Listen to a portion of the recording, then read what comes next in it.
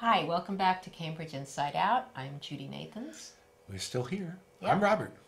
So we're going to meander to a couple other things. Couple or- other things I mean, here. it is an election year. Yeah. Haha, As if we didn't know. You know? This is true. Yeah. Um, the uh, maybe just a few little quick more things Mm-hmm. from Sullivan Chamber and City Council maybe last night. One thing it was this sort of a, really probably the single most annoying Oh. City Council order I have seen all Yeah. Mm. year was one uh, that was introduced several weeks ago. Maybe it was actually even was it at the summer meeting?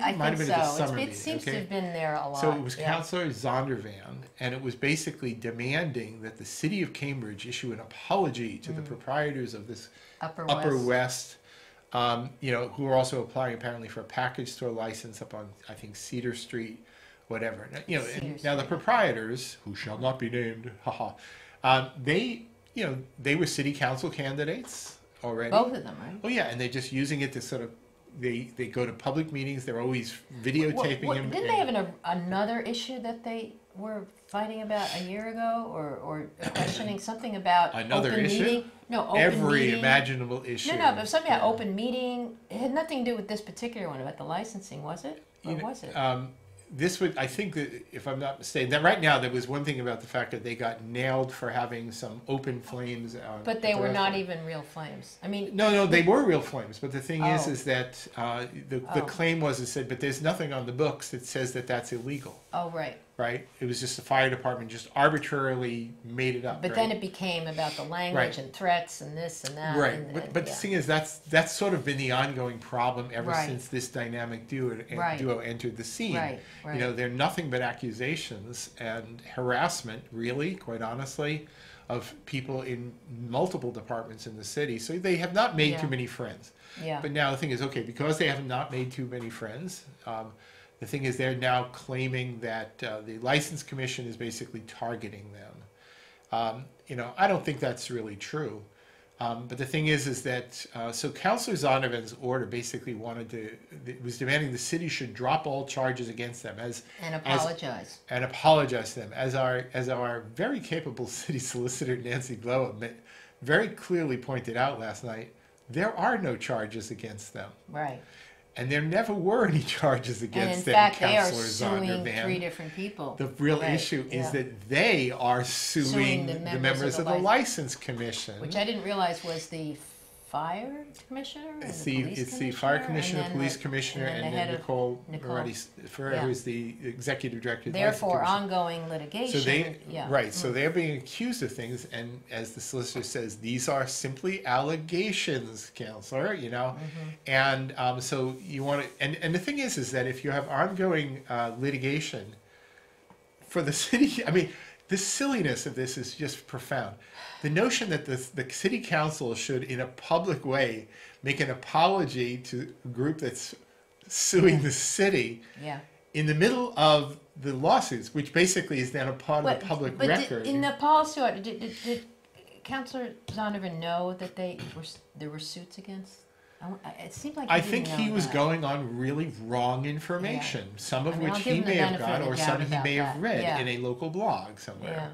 Yeah. yeah. Um, but the thing is, is that uh, you know the the, the um, you know these as, as Nancy said, these are allegations only. You know, Mm-hmm. and if you want to talk about it all, you really should do it in executive session. Oh, right. And the thing is, if there is ongoing, ongoing, litigation, for yeah. the city council to vote to say, "Oh, we're so sorry, we're terrible, terrible people," Or to even if that doesn't it, affect do the litigation, I don't Right. know what th- would. Nothing could be done publicly. You Right. couldn't do it in an you know, and session. furthermore, this that, the license commission has jurisdiction over certain things, and the city council has jurisdiction over certain things.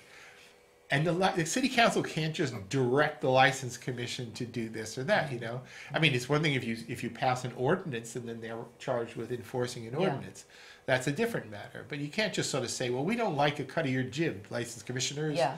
We demand that you apologize to these people, or we're going to get really mad and stamp our feet. Yeah. yeah.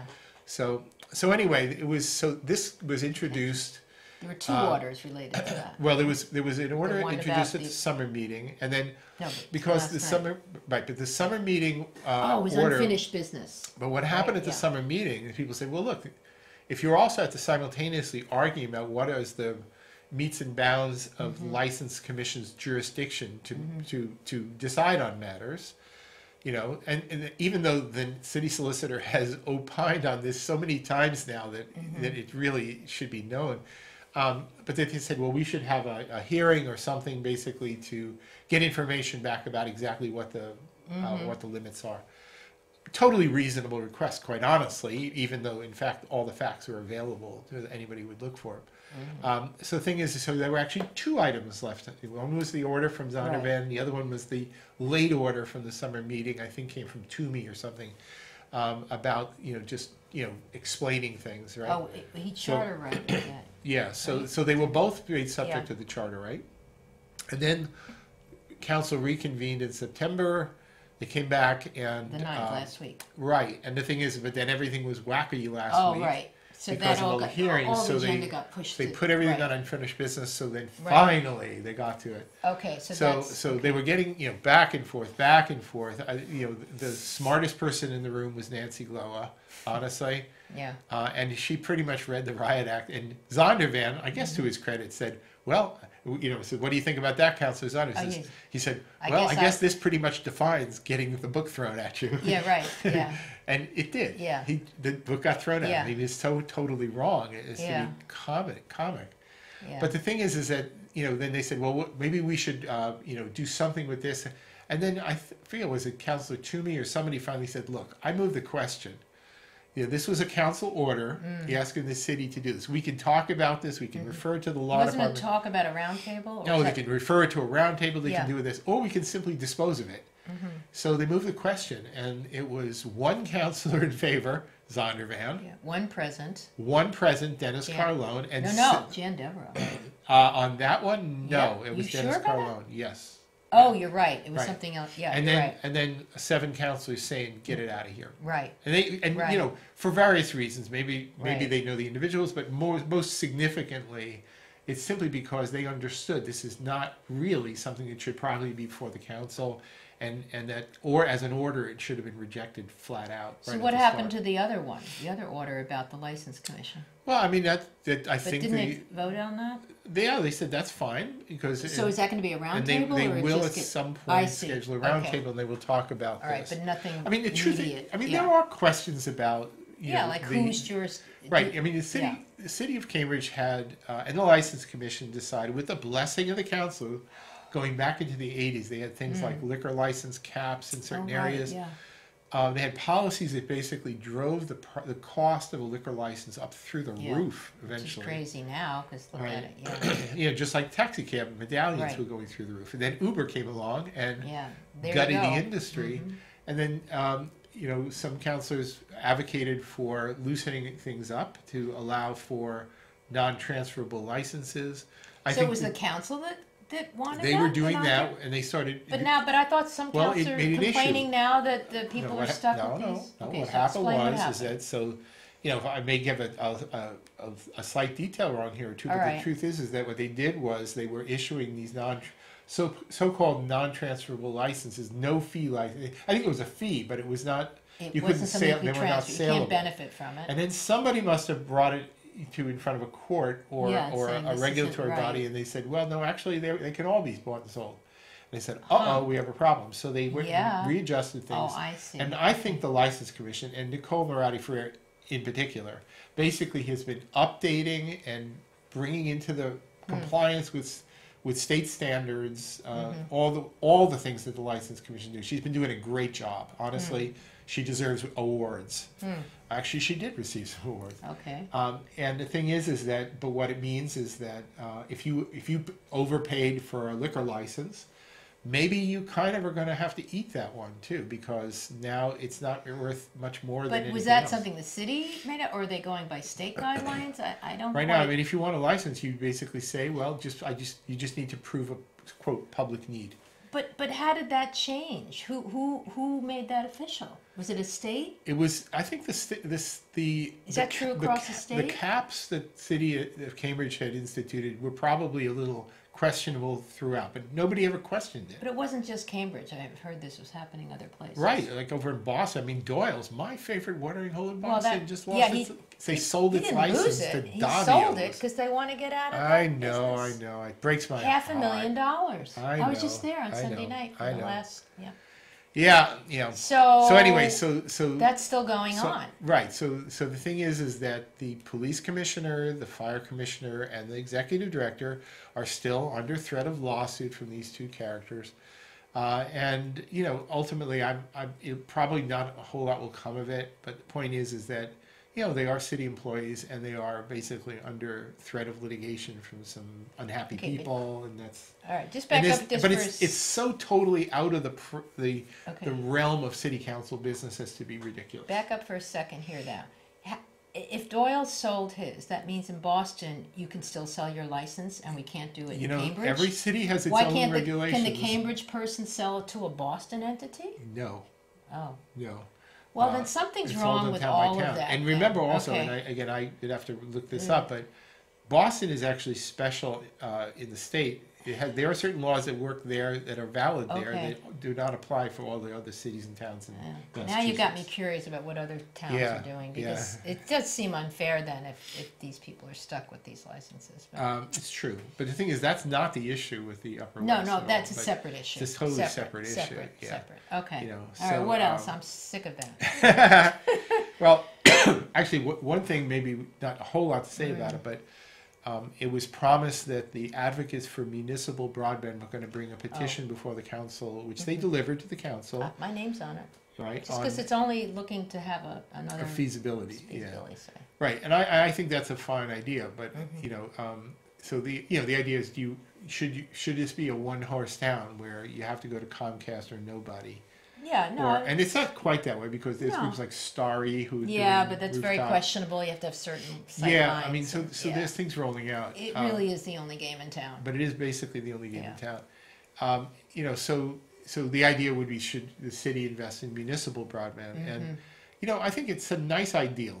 You know, I don't. Yeah. I think if you ask almost anybody, say, hey, wouldn't you like to have an option that you could get Well, Concord this? has it, Longmont, Yeah. Colorado, whatever, but Right. there, you have to look at all of the details. is attractive. Yeah. If you own your own utility electric company, it helps, which is Yeah, true in Concord. right. And also, this does not say anything about cable television. So just remember that Right. you'd still have to have a cable TV subscription, and you'd probably still have to go to Comcast. Right. So I mean, everything is evolving. it's great for people who just want to stream and all that. I'm just saying there's a lot of issues here, but I That's right. still think a feasibility study would be good. I think it's a good Yeah. study, but the, the the one aspect of the feasibility that I would really like to understand, which maybe the study can't even address, is the future.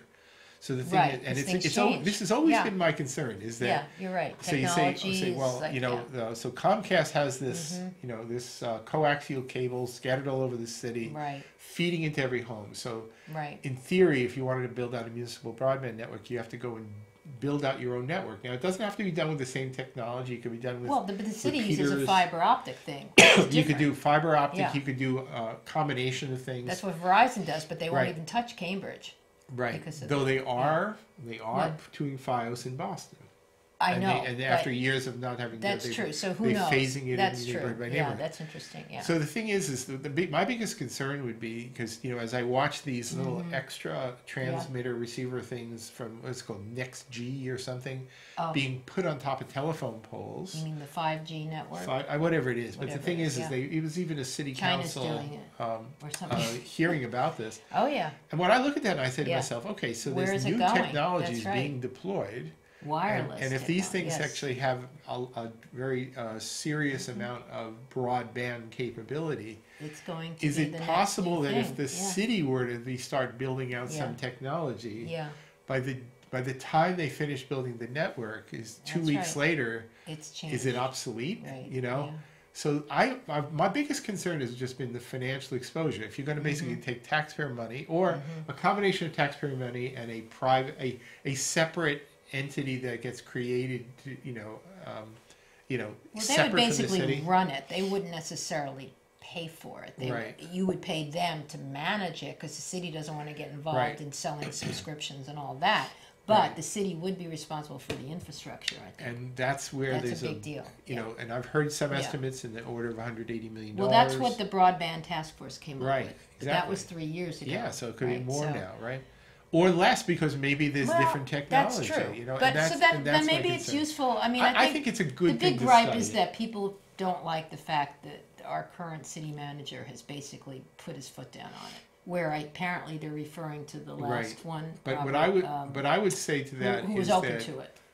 you know, again, I'm not gonna put words in Bob Healy's mouth or But that's Richie Rossi's mouth yeah. or Louis DiPasquale, but Well, all three of these city managers and Lisa Peterson briefly when she was there as Mm-hmm. the acting city manager, I think all come from the point of view that you know that ex- putting the city at financial risk is not Mm. good in terms of bond ratings and the ability to finance other projects. Mm.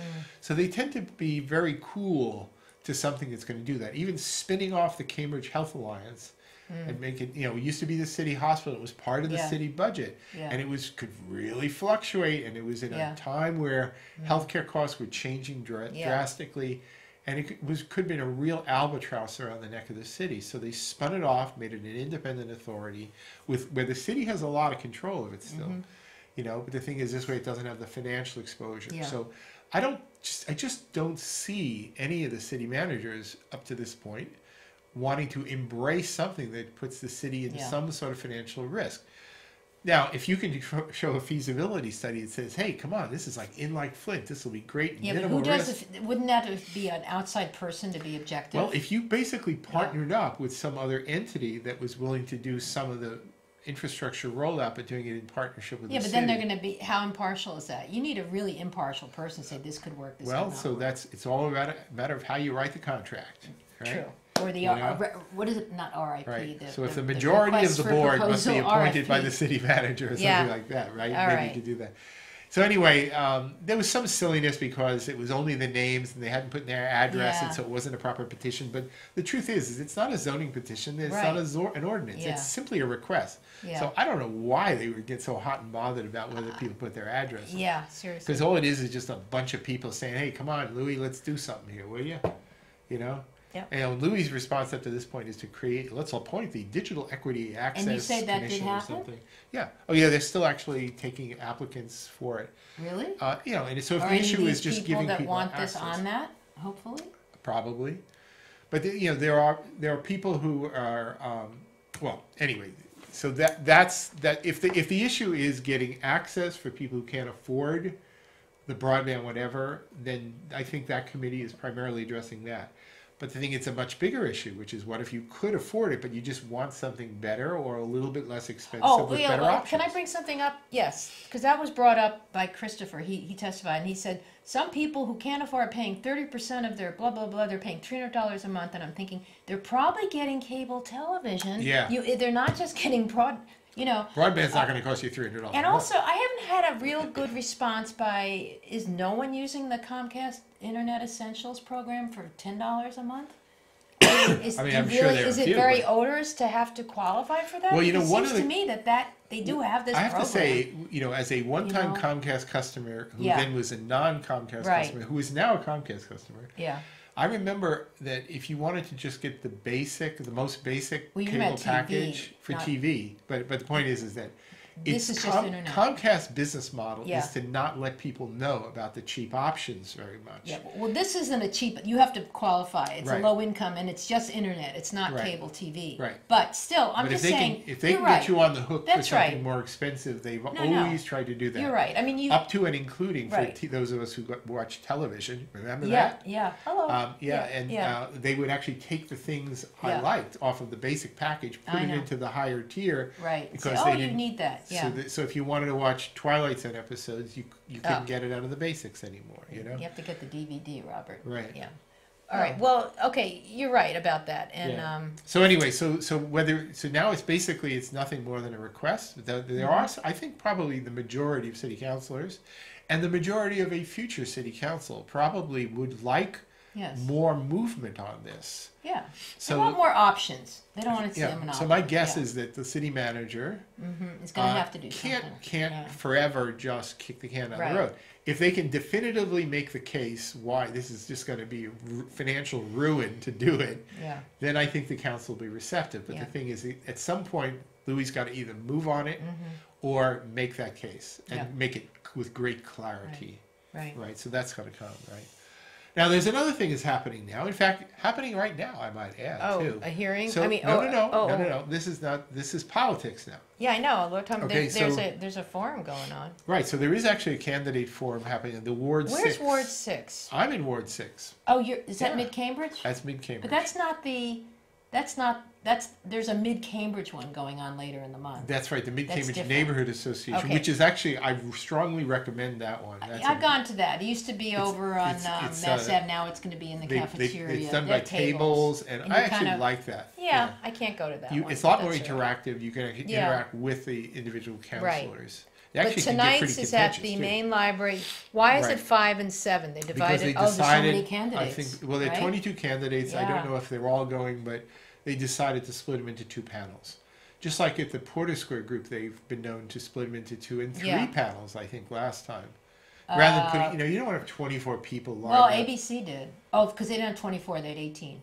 right. Minus a couple 18 counselors is who pr- were at a Yeah, meeting. and even 18 is just a lot Yeah. to have lined up like a beauty pageant there. Yeah. You know. yeah. Um, so so anyway, they made a decision to actually do it. So Okay. so let me see what what Are you going to go to that? You're going to run over there? No, no. Well, honestly, Yeah. I may be a member of the Ward Six Democratic City Yeah. Committee, but I despise it. Oh. I really do. The the chair is a lunatic. You know, the, everybody associated with lunatics. right. But the thing is, is sometimes You're really, you're I'm really sorry. cementing I mean, I, your I gotta say it, right? you know, I, I, I feel shame to be a part of this group. But the thing is, is that is that that they that doesn't mean they can't put on a good forum. They might actually ask good questions. They might get good participation. So I knock wonder, it. I wonder if knock 'em dead, do CCTV is televising because they did televise. They may, yeah. They Facebook Live yeah, the I, ABC I think one. they may. So those Oh, those videos may be available. So it's I'll like find five. you I walk think, out the I think door. maybe Five one's and at seven. five I've got and the right seven. here if you Yeah. to go to this for Yeah. a minute. Your civic Yeah. calendar. Yeah, we could do that a little bit right here. Yeah, there Here we you go. Yeah, so there's Right, Ward so- Six City Council candidates for So that five is o'clock and seven tonight, o'clock. Yeah. and then you've got a also tonight a planning board meeting. Yeah, and with Anything yet big on another, that? What's uh, that yet another Charles River Remedies. If they want to open up another pot shop on Church Oh. Street in Harvard Square, Oh dear. I tell you, there's a lot of pot There going we go. down. Absolutely. Wait, but that sounds like that's medical. No? Um, yeah, building to a retail. Right. but- yeah. But, but the thing is, is retail. oh, reach converted store, to a. Oh, yeah, yeah, the yeah, truth yeah, is yeah. they're all going to go You're right. recreational sooner or later right. anyway. Okay. Right. Um, and the thing is, is in the coming days, I don't know if we have them all up there, but there's going to be more candidate forums coming up Well, as um, well. I don't see any. Um, right- the, the thing is, they start happening. The bow tie ride is the s- the 22nd, yeah, I can't right? go to that. Um, right. Um, but I think I I, them here we go. Here's here. some. Oh, the Climate, climate, Action, action. Coalition. time that's very topical. That's next Uh, Wednesday, September 25th. twenty fifth. I can't Right. go I think that in either. October is when the Porter Square group, the Cambridgeport Yeah. group, Mid Cambridge. Here you group, go. so- you got them right here. So All right. you know we can. Ward Six will do a school committee one as well. Thursday, October third is the the central uh, is the candidates uh, Right, school candidates. And that's actually from the old Cambridge Teachers Union. So yeah, that that's a good be- one. I've gone to should be that one. before. Oh, and that's at Central Square. And I got Square. some information about that. I haven't yet posted. Oh, Uh, I'll okay. be doing and here we that. go, Ward Six again. School committee. Oh, school committee. Right. So anyway, Okay. so there are a few others here as well. All but, right. But you know, Okay. enough. The the um uh but the point is they've actually had some. So there was an ABC one, right? Yes, and I went to that. They've already made their endorsements, by the way. Like, oh, they is it? did? Yeah, they, they were announced today, and you know, Oh. it was basically look. Where did you get it? See it? Uh, Like it was on, their it was on the internet. Oh. Basic, basically, here, here's how the endorsements work. Okay. Were you in support of the overlay? Okay, you got your endorsement. Were you opposed to the overlay? Hmm. You don't get our endorsement. Yeah. So they've basically become So- a one-issue, po- you know, a one-trick Yeah. pony. Well, they never lied about it. That was their. Well, no, thing. they Yeah. started out promoting housing generally Mm. and transit-oriented development Well. very particular, but then they put all their eggs in the overlay basket. And Well, it was the best it's thing thoroughly going that defined kind of met their needs. It I was don't the blame only them for thing that. going, I know. and so. and I think to the, you know, and I would fault the community development department and the Envision Cambridge process for that. Mm. You know, um, and in fact, it's actually part of the rhetoric I really find deplorable is the people saying like, well, the only piece of housing uh, they had before them, and then they and they chose to table it. How terrible! Well, well, maybe the bigger question is why was there only one proposal? Why was there only one idea being floated to the and, the, and ever, all else excluded? I think that's kind of an interesting. Well, it was the newest idea. I guess there have been other ideas. Yeah. There are inclusionary. I mean, Yeah, But the thing is, is there actually are some people working on some, I think, better ideas. So maybe they can might- incorporate that into this Right, I mean, it? for example, how would people feel about producing more units than the overlay allegedly would have produced in Central Square by simply allowing the buildings to, to house those people happen? How about having, uh, something like that? Well, that I don't over? understand, that's happening now, what do you mean? People don't want Massey, any more Maine- tall buildings, though. Is that really true? I don't Well, know but that you that's already true. have, don't you think Central Square's already gotten a lot of units? It's gotten a lot of units, and, Okay, it, so and the thing where is, do is you- but if you ask people right now, Yeah. would you be okay with What another about, building of but some what about North significance? Cambridge tall building? I agree. Okay, but isn't that partly what the affordable housing overlay was getting at? Um, Or do you object to the whole zoning No, issue of this? No, I just would like to see housing aspects. So the thing is, if you let's say you rezone things down around the area, like in the vicinity of what they call the Boynton Yards. So this is over in the summer Cambridge Somerville border. There used to be a lot of junkyards. Everything is very low You're scale over there. Boynton, huh? Where is this? Getting heading over toward Union Square. Okay, Right? yeah, If where the somebody green came line's in and gonna go said, "We- through. we But that's have- already, have you been over there? They're building stuff there. They're building some things there, but there's actually a tremendous amount of, of space that is unbuilt Uh, I and think a lot of unproposed. that's been bought up, and I think And they're building up to the confines of existing zoning limits too. But the thing is, is that you could modify zoning there, and I will do the math for you and tell you, you will produce more housing and even more affordable housing units if you did that and pursued that than anything that they okay, but is that property affordable to the people that could buy it?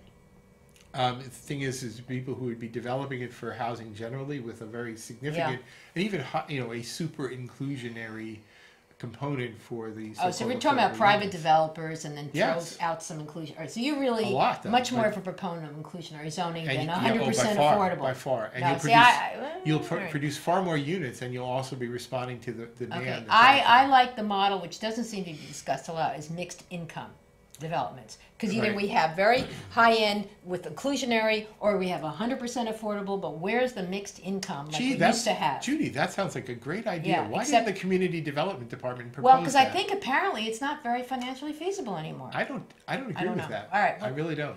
We'll So, end with that You're right. Uh, zoning adjustments can make it so. So, anyway, we'll see you soon next week. on uh, next week. Yes, next week on Yeah, there is a Cambridge meeting. Inside Okay. Out. Bye.